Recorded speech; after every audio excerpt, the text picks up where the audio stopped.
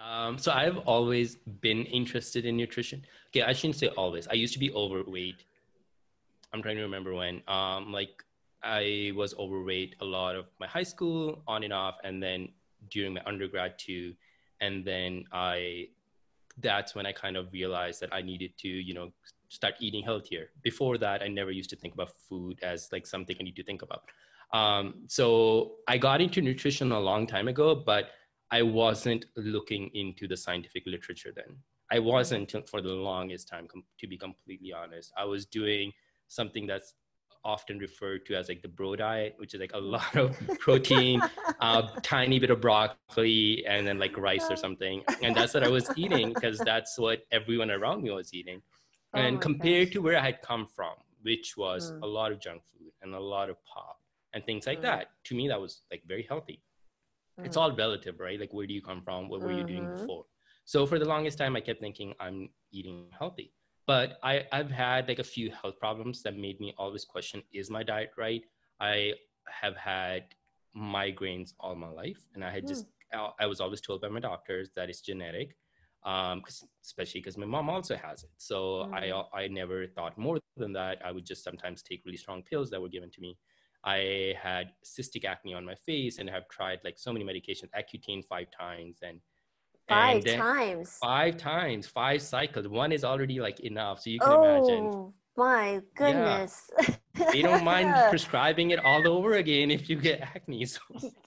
That's a that is a dry skin and the lips oh, and oh, the liver painful. potential toxicity. Wow. Okay, I'm sorry. Five times. I never knew they would actually do that for you. But yeah, okay. it was it was pretty bad. Um, because it would get better and then I would be off Accutane and then it would come back because wow. I wasn't really changing what I'm eating. So it doesn't like it doesn't surprise me that's what was happening. Sure. Uh, so I had acne, I had migraines, I had uh, something called like constant fatigue syndrome. Like I was always tired, needed a lot of caffeine throughout the day, and regardless of like my sleep, like my sleep, I always tried to sleep, but still needed a lot of coffee and stuff. And then I also had a bit of eczema and digestive issues. So I was always frustrated. I'm eating well, or what I thought was well, I'm exercising, I am like, you know, being active and sleeping well. Why do I have these problems? Like, shouldn't my body be like, okay, you're doing all the right things? And I'm young too. So it really bothered me. And I've tried all the fad diets, um, not going to lie, before I actually looked into the scientific literature. And um, I had just kind of given up hope. Uh, I remember one time I went, this was during med school, went to the doctor, he did a bunch of tests, couldn't find anything wrong in the blood test and he's told me that he wanted me to try SSRIs, antidepressants. Mm. He's like, I think your fatigue comes from depression. But I'm like, my mood is fine. No one has told me that. And I don't feel like I'm sad. And he was like, yeah, but you know, it could be like underlying and you just don't know. Why don't we experiment? And that didn't feel right to me mm. to experiment with something so strong, yeah. especially when like I haven't, like, you know, if it was depression, I feel like I should have started with therapy, not like SSRIs and so, at least be symptomatic of yeah depression.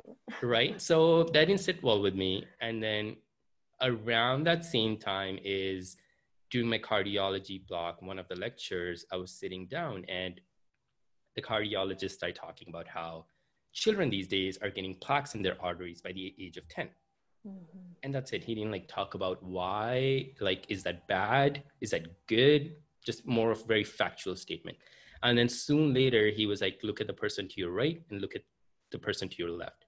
you've looked at two people. One of them is going to get heart disease. And then he just moved on. Like, and I was surprised that no one else questioned it either. Like, I was just boggled. I was like, you told us something so big 50% of my friends are going to get heart disease.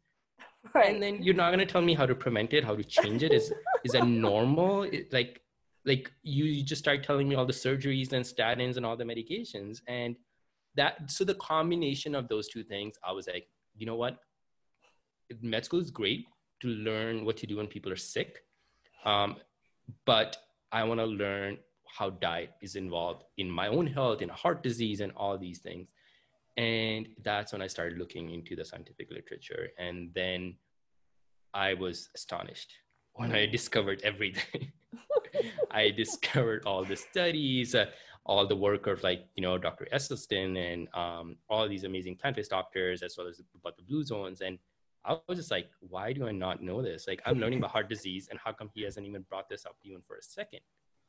And oh. that's when I was pretty much convinced that, you know what, I'm going to go plant based. And